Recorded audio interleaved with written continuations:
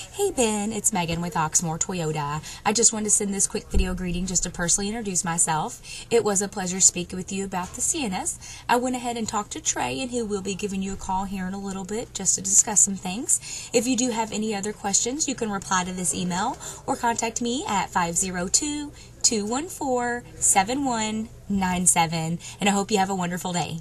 Bye.